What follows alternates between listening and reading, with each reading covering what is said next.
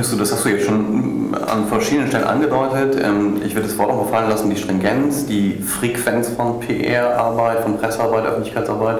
Wie wichtig findest du das für junge Unternehmen? Die haben ja oft auch nicht die Themen erstmal gefühlt. Ja, es ist, es ist total schwierig, Kommunikationsanlässe zu schaffen. Also man hat den, man hat den Launch und dann stellt man sich natürlich vor, wir launchen, das kommunizieren wir und alle sagen Hurra, jetzt sind die endlich da und dann reden alle drüber. Das ist meistens nicht so, ja, sondern man launcht und man stellt fest, nicht alle Leute kriegen das mit.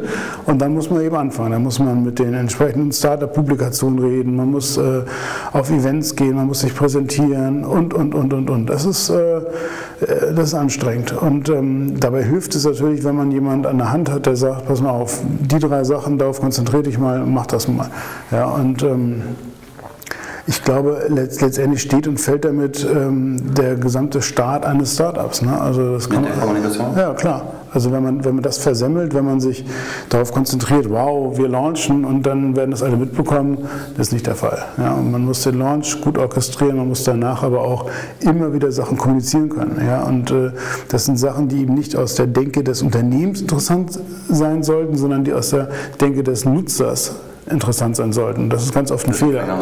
Ja, genau, weil nämlich Startups gerne kommunizieren, wir haben jetzt das Feature XY und der Nutzer sagt, Erzähl mal was Interessantes. Ne? So. Der Kontext. Ja, genau. Und das ist eben diese, was ich eingangs gesagt hatte, der, der Blick eines Gründers ist sehr im Tunnel auf Meilensteine und das muss man wieder rausnehmen und gucken, was bedeutet das eigentlich für den, für den Nutzer und wo kann man da die Kommunikationsanlässe schaffen.